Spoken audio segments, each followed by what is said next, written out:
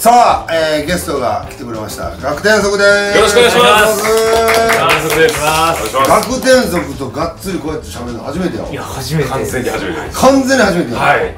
いや学天則が非常に愛されてると。マネージャーから。あマネージャーから。はい。それは。マネージャーがぜひあマジっすか？あありがたい。うんご迷惑じゃなかった。俺はもちろんいつでもいつでもっつって。ありがとうございます嬉しいです。学天則も東京出てきたそうなんです。今年の4月から東京に。今年の4月もうつい最近つい最近？はい。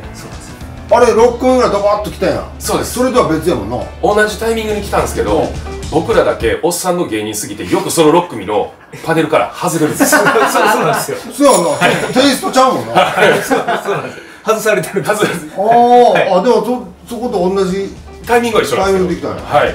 えでもだいぶ先輩やろ？だいぶ先輩です。マユリカとかから言ったらもう8年とか先輩ちゃいますかね。8年先輩だ。ったらだいぶ先輩で。はい。もう唯一だから40代で東京来ました。俺らの8年先輩ってダウンタウンさんやからな。もう全然違いますよ。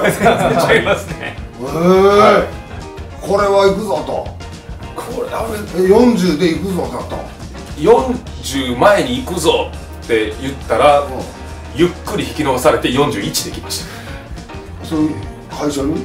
そうなんです。なんかまああの兼ね合いというか。はい。ま大阪ああのコロナもあったし。あったし。へ流えれて流れて。え大阪で学天層俺俺がもう東京出てきてもうしばらくしてからやから学天層が出てきたわ俺はいまいち大阪の学天層が分かってないんですよ、はい大阪で普通に忙しかった誰と同期なの劇場が多くてミルクボー。イとかですねあああの辺あの GAG GA あ GG とかは。い。あトットとかですかね。ああああはい。ああその辺同期なんや同期です。はい。ほんであの NGK 出て。はい。劇場結構多くてあとはほんまに関西の番組ロケちょっと行かせてもらったりとかなんかちょっとだけパネルそういうことやな。はい。そんな感じでしたでもこのなんかしっかりとした背骨の太い漫才して。いやそうやったらいいですけどね。そうやろ？まあなんとか。やそうやな、はい。もちろんネタは見たことあるありがとうございす。感じやなんとなく学天則は、まあそれはもちろんいろいろあるやろうけど、はい。大阪でそのままっていうのでも十分椅子あるやん、なんで椅子あるかわからん東京にっていう感じじゃなくてもええけど、やっぱりそこは東京で一発勝負するぞっていう感じなんや。やっぱコロナの期間中に余計なりな感じがましたね。劇場封鎖される。はい。でもうん。完全ゼロ。うもう何にもないってなった時うん。今からこう元に戻すのかんうん。新しいスケジュールにこう書き換えるように頑張るのかみたいな。ちょうちょうどそのタイミングで m 1もラストイヤーでそれがまあ終わって2020年がラストイヤーで終わって2021東京行きますかみたいなっていう話に。え二人は身一つなの？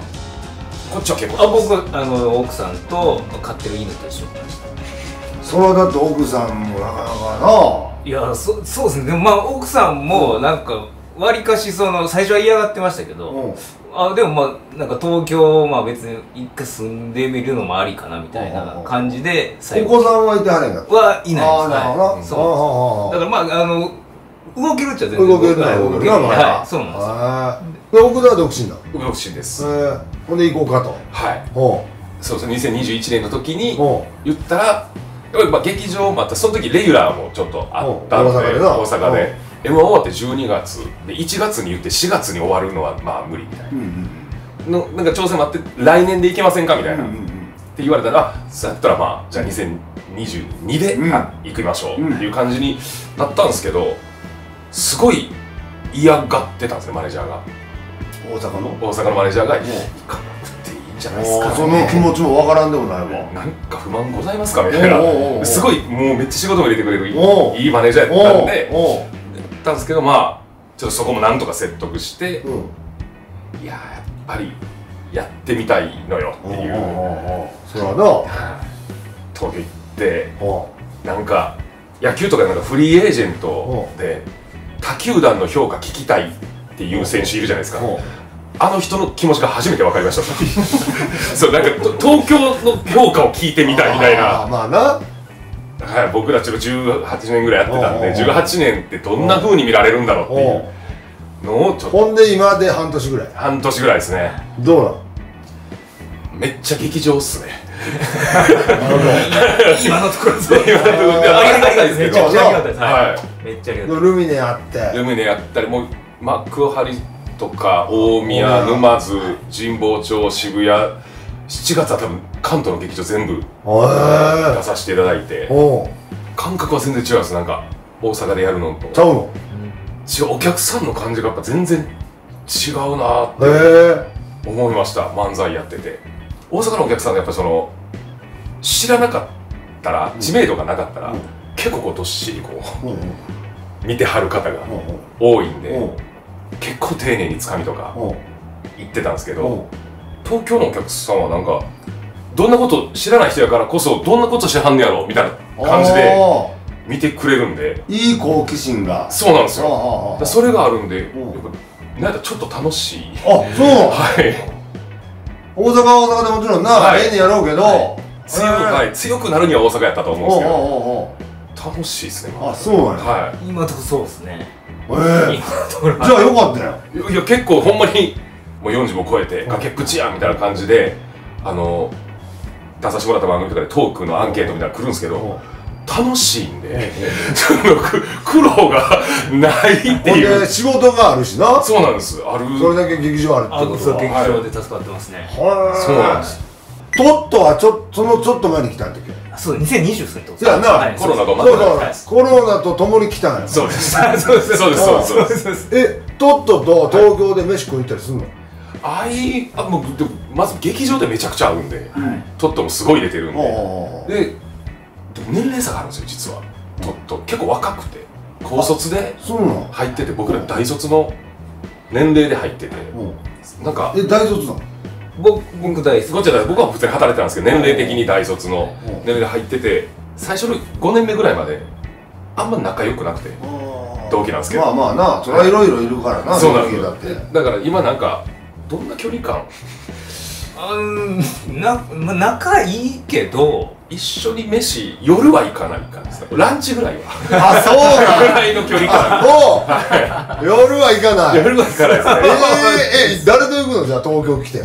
東京来てはやっぱ大阪の時お世話になってた先輩あと銀シャリの橋本さんとか千鳥のノブさんとかには誘っていただいてます。あそうなんや。はい。へえ僕も圧倒的にあのダイヤの津田さんが多いです。ねあそうなの？はい。僕あの津田軍団に一応入れてもらってるんです津田軍団ってあんの？あ知らないですか？津田軍団知らない。誰がいんの誰がいんの？津田軍ご団存知ないですか。関東津田軍団は関東津田軍団。関西にもあるんですけど関東津田軍団は、えー関町さんライスの。関町津田軍団なの？はい。ではい。えあれだってフジモンの男の子ちゃうの？ああれ掛け持ちでやってる。掛け持ち掛け掛け持ち OK なんですよ。あえーで、えー、般若のカナダはい。で、えー、クロスバー直の渡辺さあんで、えー、僕。おう。うで終わりがはい関東津田軍団関東。えー、あでもええな。あそうなんです。呼んでいただいて。除名されそうで。なんで？なんで？その東京出てきて引っ越した土地が国分寺なんですね。おう。僕はい。4だいぶ入っていったね。上に西に。いやでも言われるんですけどでもそこしかなかったんですよ本当に。そんなわなんほんほんまなんです。よマジそこしかなかった。そこしかないけどそうそうそう。そこしかなかったんです。そんなわけないんですよ。あそう。そこしいろいろやっぱ条件出したうん。らここしかない。ここしかない。あそんなわけないスーモがここで踊ってた。一体だけでなあそうなの津田さん飲みに連れて行ってもらったらこいつにその遅くなった場合2万渡さなあかんんですよタクシー代を。そのこいつに2万の価値があるかどうかみたいな その多分天秤が始まってる津田さんの中で。えー、あそうなんや。そうですね。だから日が超えるとう。2万の男うわ 大変やなそれ大変でへそうえですね。だってげ劇場もだから新宿はめっちゃ近いんですけどおうお一本？一本で行けますよ、そうはい、幕張とかがやっぱちょっと若干。なんですけうど、んまあ、2時間弱かかるんですけどおおいい生き方とかもね最近ちょっと見つけまして、なんとかそのやっぱ国分寺が最寄りなんですけど、そっからあの東京駅で乗り換えて、うん。幕張君がまあ通常のあれなんですけど、国分寺から隣西国分寺っていうのがあるんですよ、うん。で一回そこまで引いて戻って、武蔵野線に乗ったら一本で行けるんですよ。知らん。知らん。で行けるんですでどれぐらいで、え、え、で、え、2時間半は一緒なんです。一緒2時間弱は一緒なんですけど、座れるんです。あ座れる。座れない2時間弱。そうです。いや各駅26駅ですよ。それしか通ってないんですよ。その武蔵野線っていうのが。各駅26駅で。そんなんほんま品川京都やん普通にそうそうそうそうです。なんか座れす。ぎて疲れてる時あるんです。よ幕張勝手にイラッとす。るんです。よ勝手に遠いとこす。る疲れてるやんほんなら大変やないろいろ大宮とかああ、そう、あ、大見の逆に近いかもしれないです。ね。あそうか埼玉やからそうなんです。よ。そこを武蔵野線乗って、えー埼京線乗り換えて一本で行けるんで。乗り換えたら一本って言わんで日本やねそれはさっきずっと気になって乗り換えてるからで、やと、まあまあ、比較的今は全然。でもそこしか空いてなかったもん。そ、そ、んなわけない。ほんまにそほんまそうそこしか入ってほんまやねめっちゃ喧嘩しましたから。東京来る前にこ そうなんかよなどういう感情かわかんないですけど、うん。まあ、40超えて東京行くとこう前のめりで行こうってなってる時になんかほっこりする街住んでるやんと思った。ら いやちゃうんちゃう？それはっていう国分寺も働いてるじゃないですか。家賃なんぼなん16万高いって。それはじゃあ高いって。これだって。いやだから家賃高くしてモチベーション上げるんや。国分寺ですることちゃう。都心部ですることや。いやええどのあたりなのこ僕のもほんま新宿近辺。新宿近辺。近辺。俺もしそうやって先輩からはい。があればいつでも。もういつでも行きますよっていう。行きますよと。た先輩付き合いとかもやる気ないみたいじゃないですかなんかそこ住むと。いやいや全然行きますよってことはもう言ってるんですよ。なるほどな。国分寺えええいさ国分寺ですけど誘ってもらえたらできます。か今です。ええちょっと待って8時に飯食おうかは男ともう6時前には電話せなあかんやろ？そうですね。そうなんですね。そうなりますね。そうやな。そうなりますね。早めに決まってる時から連絡する。国分寺からわざわざほんであっちもあるしなあの都市伝説もな。あそうなんです。都市伝説そういうのはめちゃめちゃゃ詳しいんやろ。まあ好きですね。どっちの都市伝説？都市伝説もあの俺と関がやり始めた頃と、はいもうあの頃の関はもういないから。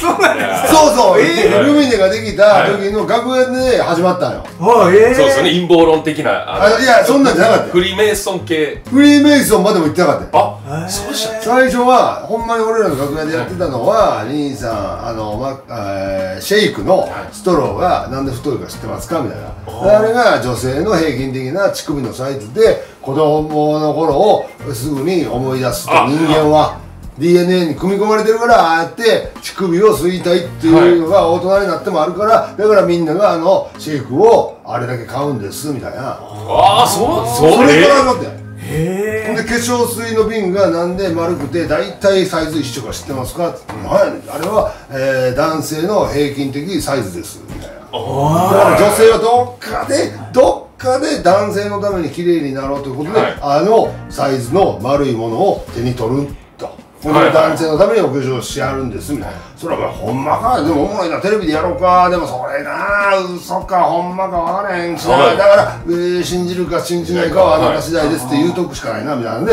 始まって。んえー、でももう一発目からほぼ仕上がってるんですね。そうやねほんでえっと TOTO とイナックスがこれは俺が作った嘘やで、はい。TOTO とイナックスは兄弟で、えートイレの戦争をお互いでやってるって言って、はい。うん。ほんで、えーイナックス TOTO って書いて逆から読んだら弟かける兄ってなる。おわーなるほど。で作っちゃってたんですねそっから始まってん。ねん。え信じるかほんならフリーメイソンだなんだって言ってもう関さんが手の届かないとこ。届かない円盤に乗って。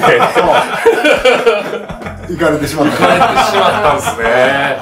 僕は結構そのゴシップみたいなのが好きだったんですよ。噂話みたいなのが。例えばどんなの？これもうだから都市伝説だから、えー信じるか信じないかはあなた次第ですよ。そやねんな。これ誰がいいかな？あほんならなんかあありました。結構世界のニュース割と好きで。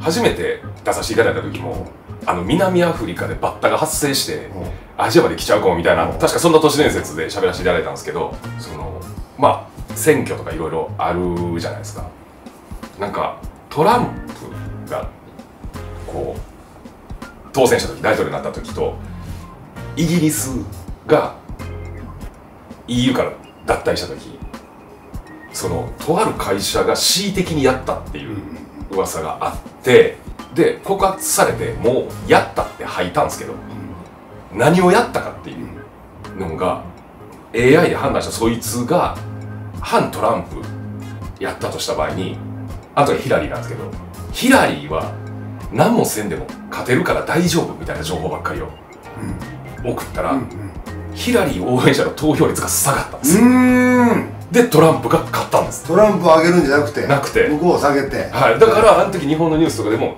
イギリスが EU 脱退するわけがないしトランプが勝つわけがないん。でその情報ばっかりがその会社が世界中にばらまいたから逆になったっていうどうせヒラリーやから私一票入れんでええいわやってなっちゃって。っていうやり方だからもういよいよそのやり方したらみんな自分で選んでるようで選ばされてる選挙になっていってるなるらしい。ほど。あれやろな。そういうことあるやろな。うんまあでも。そういうこともあるやろうしまだまだやっぱ所詮 AI アホやなっていうのもあるし。俺昨日仕事でちょっと水虫検索せなあかんっていうのはい。水虫の画像をちょっと検索はい。仕事でした、そっから今日からもう朝起きたら外反母趾のニュースばっかり。早いのかこれ早いっすよね。いや。誰に外反母趾の靴送ってきてんの水虫を検索しただけやなのでいやでもアルゴリズムとかなんかあのあれが結構すごいことになっていってるみたいで。へえ。でもそういうだからちゃんとした真面目なやつや。結構そうっすね。あとそのこれほんまにただのゴシっていうか、うん去年伝説の一日ってのあったじゃないですか、うん。あの NG 系で、はいはその舞台上じゃないところで伝説がちょっと一個あったんですけど、い巨人師匠と小枝師匠が大喧嘩されたんですね。同期やな。同期なんですよ、うん。大喧嘩されたんですよ、その喧嘩の理由が、あのお化けいるかいないかやったんですよ。でも巨人師匠まさかのいるです。そうだいる派でしたええ非科学的なことが嫌いなんちゃうの？ちゃんなんですよ。巨人師匠がいる派だった。いる派なんや。いる派だった。あ大揉めしてた。ーええなそれ。こういうこうこういうゴシップが割と好きだった。ああなるほど。なはい。ええはい。ええやつ持ってんな。ええまあまだそうやって都市伝説にはい。出たりとか。そうですね。あれはやっぱりもうだから僕もテレビでずっと見てた。あそれこそさ最初のこの1ドル札を追ったりとかしてた時のあをずっと見てたタイプなんうん。でそれでああいうのが好きになってるんで。あそうなんや。はい。だからやっあぱ出たいですねーなるほどね。はい。ええ何出たい？テレビですうん。か僕はもう青空レストランとかですね。いや声かこれやろ。いやそこれ言うんですけど、そのご飯食べないんですよあんまり。まあ、まあ確か食べませんけど。食べませんけど大飯ぐらいとかでもないんですよ。いやその、まあ、食べたいとかじゃなくなんかふ雰囲気というかあの番番組がなんかいいじゃないあーええええよないいじゃないですか、ええ大自然でなんかみたいな。そう。ほんである程度のその若手が出る感じの番組やん。確かに。そうですね。うん。まあ出てみてでもそうすぐ声かかるやろ。いや今んとこ全然何にも。ないですおおそう、はい。まあまあまあそれまあそのうちやろ。そうですだたでも食べないん ですよ。いや食べへんけどいやそのそのちょっとは食べるやん。そうその大阪でそういう食レポ系のロケとかも行かしていただいたりした時にできるだけ食べようとはいはいはい。思うんですよ、そのなカメラ止まった後も。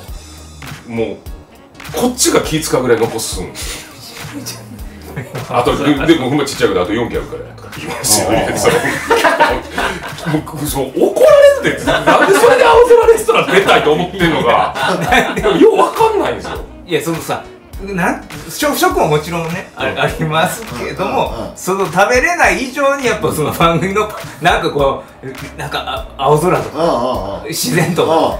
食以外の感じがいいいいからロケ番組として出たいってことなそう。いい番組やから。はい。ああなるほどな。そう。えあっちはあのザ・セカンド？ザ・セカンドは僕たちはあれでしたね。ザあの最初の32組までは残ったんですけど、おうえー、1回戦でマシンガンズさんと当たって。あせやせや言うてた言うてた言うてはい。でたせやせやせやせや。もうもう無理でしたね。後攻のマシンガンズさんのあの勢い。ああそうなんや。はいそうかそうか。でもまあまあ納得のって感じやなじゃあ。それに関してもそうですねその時は。だからマシンガンズさんはもう負けたと思ってたみたいでやった後。だからあそうや聞いたわガクテンソクがむちゃくちゃ仕上がってるって。その時。ザ・セカンド。はい。ザ・セカンド。ほんならまさかのマシンガンズかみたいになってたもんな。そうです。もうほんまに最強の前説入れただけでした。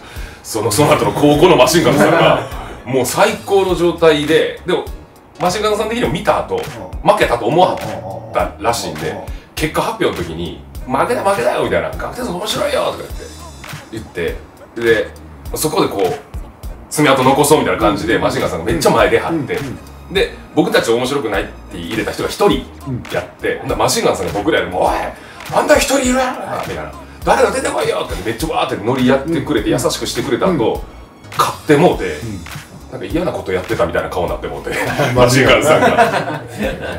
みたいな「ごめんなんかごめんね」結構カメラ回ってるところで「なんかごめんね」って言われたんで後で写真撮ろう。恨みようも 恨みようもないんで。そうかそうか、はあとまあまあその専攻高校もなそうですね。いろいろなはい。ありましたけど。かもやしはいじゃあ次はもうセカンドや。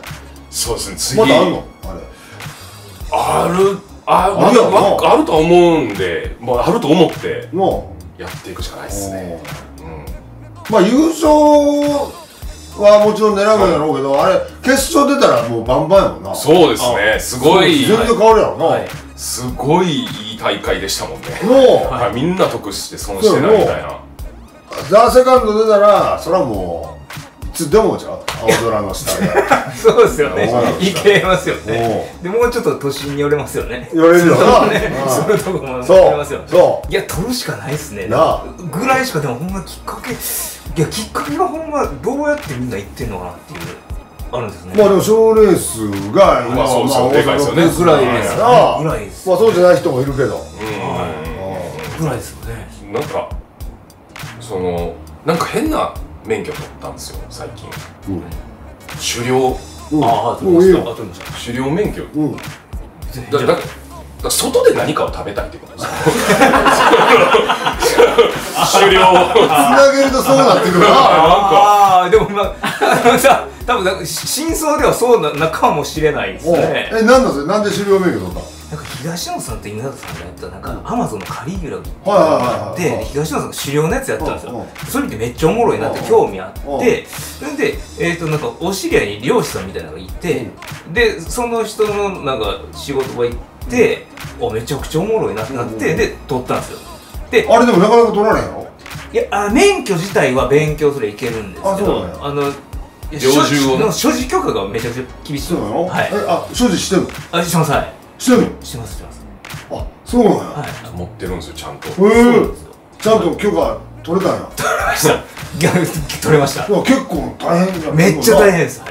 それこそ親族にあ、まああ、そうよあめっちゃ知ってますね。あかんしな、はい、めっちゃどこまで川教えてくれないんですけどめっちゃ遡って、いろんなとこまで調べられてようやくみたいな綺麗じゃないとな。綺麗じゃないとはい。うん。そうなんであとそれこそ都市伝説嘘かあんま分からないけどその許可を取るその警察官側、あれ警察やんのそうですまあわざとむちゃくちゃ腹立つ感じで組ん。でんて、ああなるほど。なるほどおい何やお前ってなったらはいアウトあカットだった。もなるほうみたいな。それはでもあるかもしれないですね、はい、もうそれ全部クリアして。クリアしました。ほんでそれどうして冬場入っていくの？はい入ってきました。今年行ってあの害獣の鹿をう。んあの仕留めました。仕留めた？仕留めました。自分で、はい。師匠とかじゃなくて？父親僕がえ？僕がこどちょっとね聞いたらその天才って言われたんですってその師匠に。う言われました。ででそんな射撃の才能あったんやって思って聞いたら違うんですあの信じられへんぐらい鹿に近づけるんですって鹿が逃げないんです。そうなんですなんか師匠が言うにはお前は多分生き物として見られてないってへえだから向こう全然ずーっと僕向こうずーっと見てたんですよで僕もずっとえなんでこんな逃げへんのと思ったらほんま15メーターぐらいまで近づけてあれいやこれ誰でもあったんちゃういやすごい才能や正気を感じないという生き物が。誰よりも鹿に近づける野生動物に近づける男も。うあのリアルでバンビーノいけるんちゃうかな。もうテンポ置いて。ええはい。すげえな。ああいやそうなんですよ。ほんまにあの一発撃ったら一発当たったんですよ。えでも一発で仕留めてあげた方があそう自分のそうですそうですでちょうどいいとこにあの苦しまへんようなとこに当たってて。与えずに。はい当たってて。あほんでそれどうすんの？持って帰ってくんの？あはい持って帰ってきてあその人があのさばける免許とか全部あるんでああ。さばいてもらってう。ん自分で食べて食べた。食べました。どうなん？やっぱちゃうやろ？いやめちゃくちゃうまいですね。もう感謝ですね。いやお前もう青空レストランやってるやん。や やってましたね。やってるやん。ほんまややるややってるわ。やってますね一社提供じゃないだけで。勝手にやってるやん。ほんまややってました。自分でやってたんいやややってましたね。そうなんすごいな。そうなんですよ。はい。えー、これまた行くの？行きます。はい。料金がね11月半ばぐらいから3月ぐらいまでなんで行こうかなと。ちょっと。パーティーしようや。いやいやじゃあジビエパーティー行きますはいはいやってますもんねそうそうそう。はい。も持ってきます。と取れたら。えマジで？はい。早めに家出てな。もう前乗りしときます。そうなんや。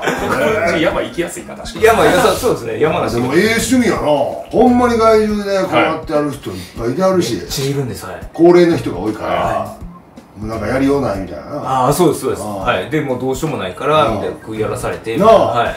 そらでも自分で仕留めたのなかなかな。いやそうですちょっと男の子なら1回や2回やりたいな。そうなんですよ。でちゃんとあのシールに、そのなんかこの捕獲者みたいな、で僕の名前が書いてるみたいな、やってくれてはいししてくれて、へでもなんかちゃんと説明せずにシャンプーハットの小出さんにお世話になってるからで鹿肉。